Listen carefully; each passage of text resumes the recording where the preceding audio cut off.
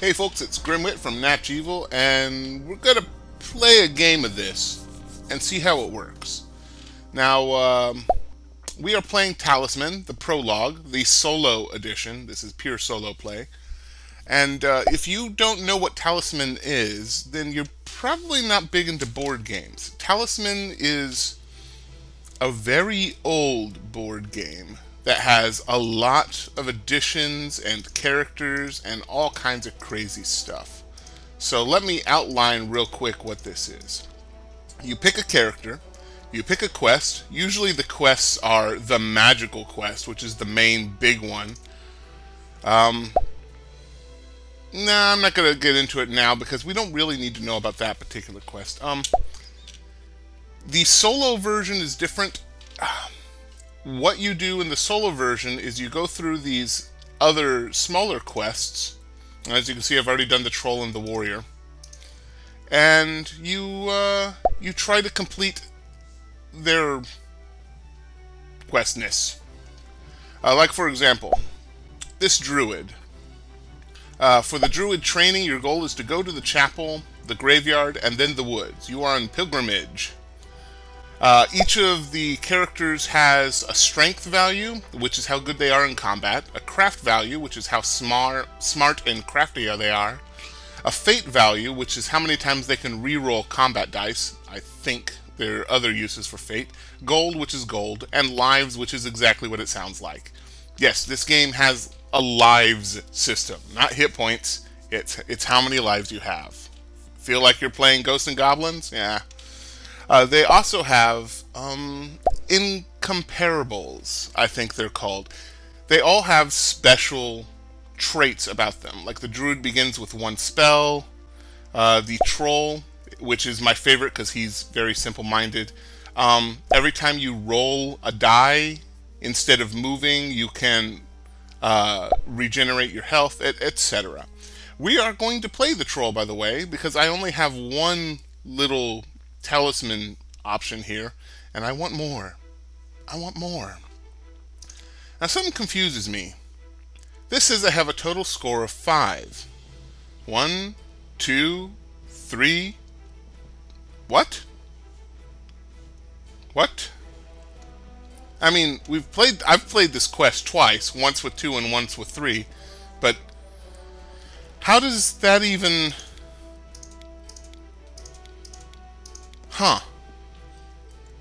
I'm, I'm going to call that a glitch. In any case, troll. Um, this is a very short game, the Trolls game.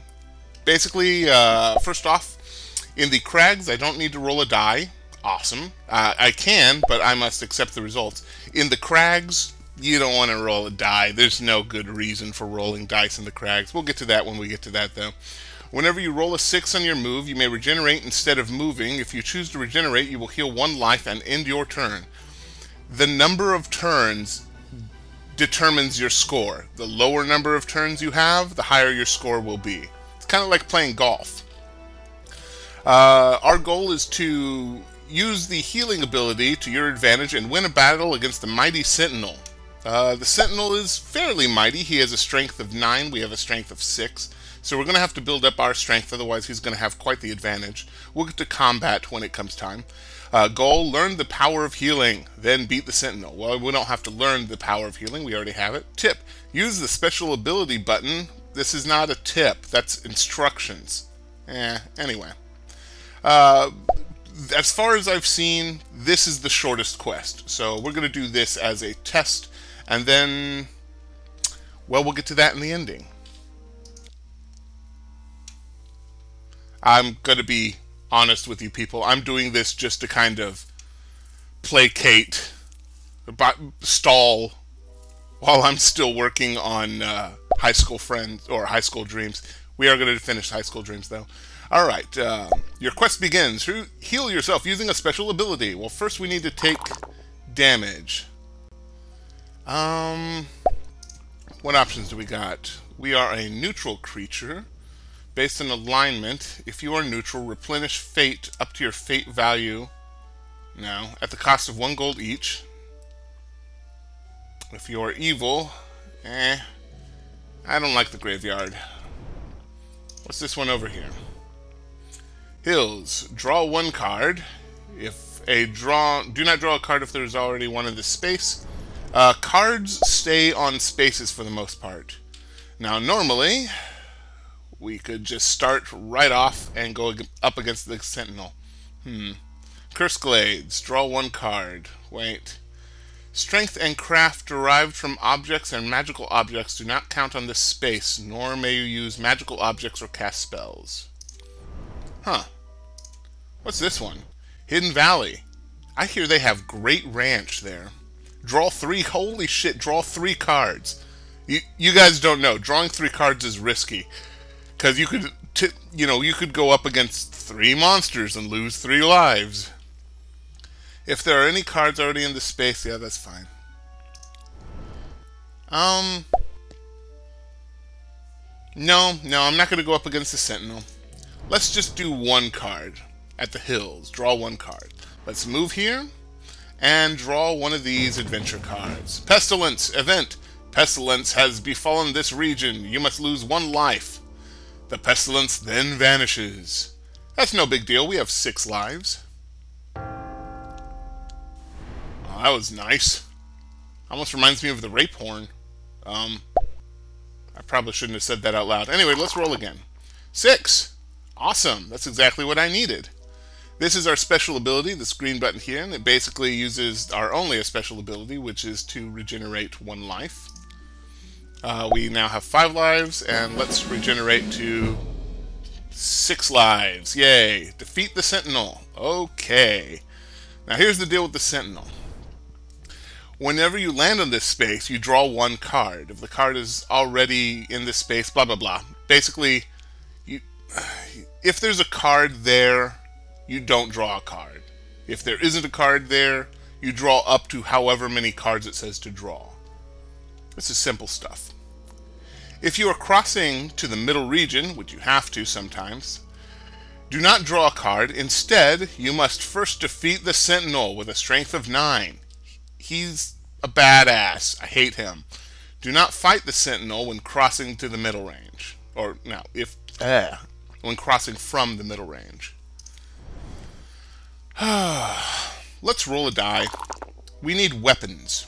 We need weapons or we need battles. One of the two. Let's go to the fields where we can draw a card. Shrine. Let's see. This shrine will remain here for the rest of the game. Roll a die either ignored, gain a fate, gain a gold, gain a spell, gain a life, or teleport teleport to any space. Ooh, let's go ahead and do that. Gain one fate. Boom! We now have two fates. That'll be useful in certain combats. Let's head over towards, what is that, a town? Draw one card. We will draw a card. Here we are. It's a bear! A ferocious bear is running amuck in this area. It will remain here until it is killed. Let's kill a bear.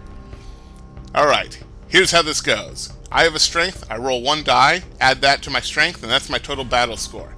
He has a strength of 3, he rolls one die, adds that to his strength, and that's his battle score. If I beat him, he dies and he goes into my trophies. If he beats me, I lose a life and stay where I am. If it's a tie, nothing happens. It's just a standoff and I leave and he stays. Alright, let's do this. I got an attack score of 10. And he only got one of 9. You're bested, bear. Okay. Trophies. What you can do with trophies is when you gather up enough of them and you add their strength scores together, for every 7 you add together, you gain 1 strength. Or is it one craft? Maybe it's both. No, I think I think it's just pure strength. You add that that's how you level up in this game.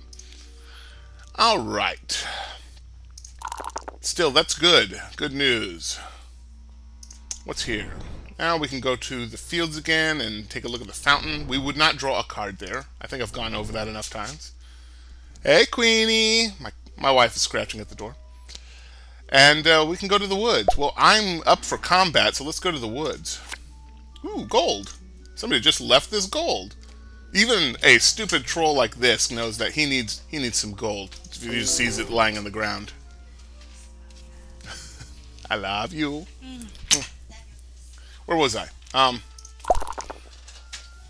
let's roll a die. All right. We can go to the village, where actually they accept trolls as equals, because this is a village of all kinds of crazy people. Now with them, we can visit the blacksmith. We have two gold, so we might be able to get a sword. I'd like an axe, but a sword would be just as good. Or, we can go to the chapel, which is based on alignment. If you are neutral, you may heal up to your... No, no, we don't need healing. We're a troll. Trolls don't need healing. So let's go to the, the town. Check out the winches. Maybe get some cider at the winch house. All right. Armor is really awesome, but I don't want armor. Axes are really cool because you can use them to cut to make rafts whenever you're in the woods and therefore bypass the sentinel. But I don't want to bypass the sentinel. And sword. Add one strength during battle. Awesome. We will do this. Buy a sword. So now we are a troll with a sword. Me no, me no know how to add, but me know how to use sword. Am I a troll or Native American? Here we go. Three. Alright. We can go to the woods or we can go to the plains. We'll go to the woods because I want to be close to that sentinel. Draw a card. Damn you, maze! The maze will remain here for the rest of the game. Whenever you land here, if your craft is less than 5, being a 1, it is, you must miss one turn. Son of a bitch! And it's just turning. I'm trying to lower the number of turns that I take. Uh, here was a 3. We can go to the chapel again, which screw the chapel. Or we can go straight back to town, which I don't need. Or we can go to Hidden Valley. Actually, let's try to go to Hidden Valley and go up against the Sentinel for the first time. There we go. We must first face the Sentinel. Alright. Strength 6 plus 1, which is 7. Strength 9. He's got the upper hand, but only by 2 points. Now, I've gone up against this guy enough times to know that 2 points is everything. Like, for example, if I roll a 6, that's uh, 13. That would be a score 13. So with a 9, all he'd have to roll to match me is, let's see, 14, or 9, 10, 11, 12, 13, is a 4. A 4, 5, or 6. That gives him a half chance of beating me at my best. Let's do it. I got an 11.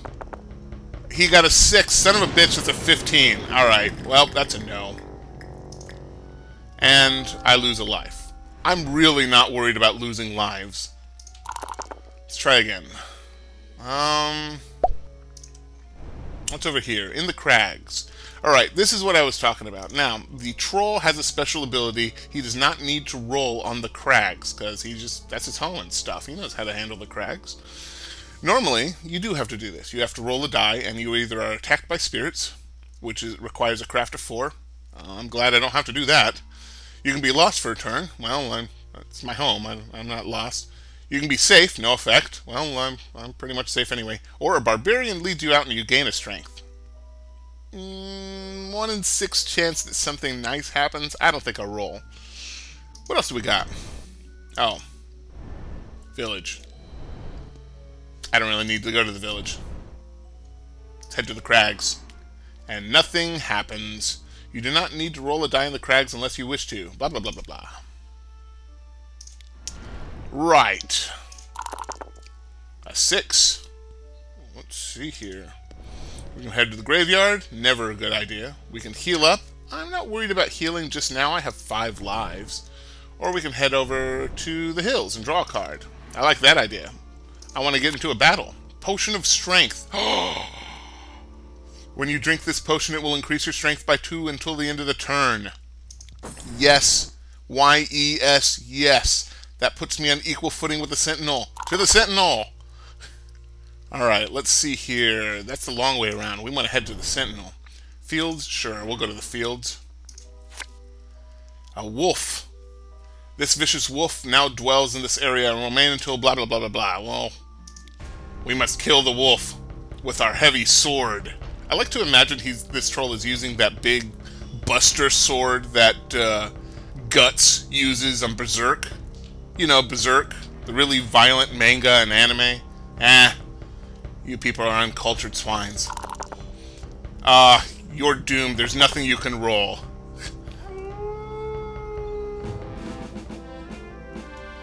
Now, alas, that is not enough to build up my strength. Ah, three, four, five. I need a strength of two monster. I really need to get into another battle. Well, speak of the devil. The devil, you say. The devil. The devil. it could not get any better. Alright, this is a magical uh, belt. It just adds one to our strength just adds one to our strength. I think we're just about ready. We now have the upper hand over the Sentinel. Six plus two plus that uh, that potion will be another two, so that's six plus four. That's ten, and that'll put us uh, one point above the Sentinel. Let's keep going. Oh yeah, it's the Crags. We, we know the Crags. There we go. Just kick back in the Crags. Get to our house. It's nice. It's a lovely little swamp. Uh, all right, you know what? I could go here and get lost in the woods, and that sounds like a lot of fun. But uh, I'm not going to. We could re-roll, but we're not going to. Now, what I don't look like is you can't re-roll against the Sentinel. I, I have Fate. Why can't I use it? Alright. This is where we're going because we want to fight the Sentinel. Come on. Alright, before we get started, we're going to grab this object. Yes! We now have a strength of 10, effectively. You better roll low. Okay, that's a 13. We can... We can mm, damn it! Why is it giving me the option to reroll? Alright, fuck it. Let's do it. Haha! I have won against the Sentinel! Which means, of course, that my quest is complete. Two? That 15 turns for two? Uh, I actually wish I knew how many turns it would take to get these scores. If anybody knows where I can find that information, leave me a comment. And speaking of comments, the Warrior a fighter class, the troll, stupidest of the stupid, the druid, hippie, the wizard, smart hippie, the monk. No, this is the smart hippie. The wizard would be like, I don't know, wanting to rule the world, megalomaniac. I love it. The assassin, stabby, stabby. Actually, he's, he's pretty average all around, but he has a nice little ability where Victims may not roll a die. Oh, so sweet. The elf. It's just, what do we got? So many hippies here. The dwarf. We all love dwarfs. The priest will convert everyone or die. And the prophetess, which is actually my favorite class because she's really kind of overpowered. I mean, look at this begins with one spell. During the game, you always have at least one spell. Gain a spell each time you cast your last spell. Whenever you have to draw an adventure card, you may discard one of your choices that you do not wish to encounter and draw one more card to replace it, which you must encounter. Prophetess friggin' overpowered. And we are not going to do the magical quest for any of these characters the prophetess, the priest, the dwarf, the elf, the assassin, the monk, the wizard, the druid, the troll, or the warrior. We will go on down the line. We'll do whatever the second quest is. Leave a comment on what you want to see next. I'm going to do three of these to begin with and see how they play out. Only three. We're not going to do the whole game because there is tons of game to do. We're not going to do that. Guys, leave a comment with your vote of who you want. And uh, hopefully, when I see you next time, the uh, high school dreams. Yeah.